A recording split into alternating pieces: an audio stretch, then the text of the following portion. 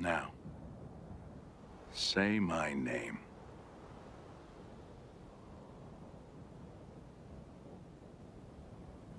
Heisenberg.